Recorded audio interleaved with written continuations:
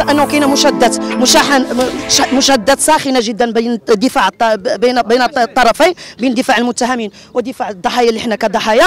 آه، المتهمين الأسئلة اللي كتوجه لهم من طرف من طرف السادة المحامين كلها كيجاوبوا عليها بالإنكار.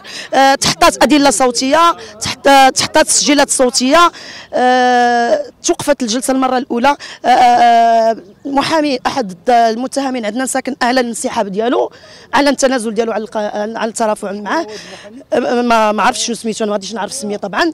أه اضطر القاضي أنه ثاني أجل الجلسه نص ساعه التطورات الجديدة أنه كتحط تسجيلات صوتية تحط دلائل أكثر من الدلائل الموجودة. يعني كتحط تسجيلات كتم المواجهة المواجهة ما بين المواجهة ما بين المتهمين والضحايا والمحامين. فقط هذو التطورات اللي كاينة. كتكون قضيه قضية رأي عام وأصبح الشأن الإعلامي المغربي أو العربي أو أو في الشرق الأوسط كيتكلم عليها. فأكيد أنه أي واحد راه كيبغي يركب على الموجة. سواء غير أنا فقط أتوجه الصدق من من الناس اليوتيوبر هادو هما اللي كيصوروا. أكيد أنه كاين منهم بزاف وحتى من بعض المواقع الإلكترونية يتحروا الصدق ويكتبوا عناوين تكون صادقة.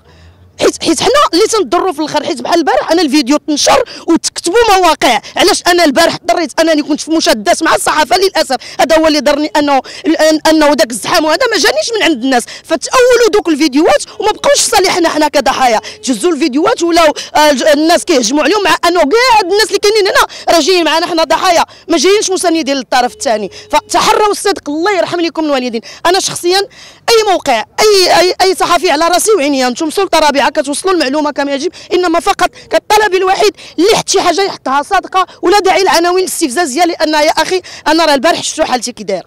وكنت حالفه ما غنصور ما غنعطي حتى شي تصريح.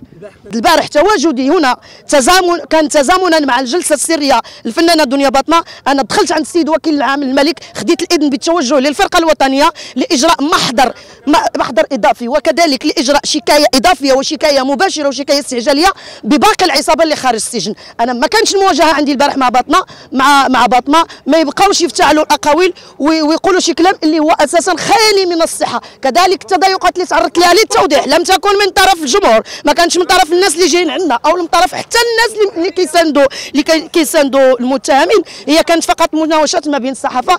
المواقع الإلكترونية كانوا بزاف ماشي مشكل.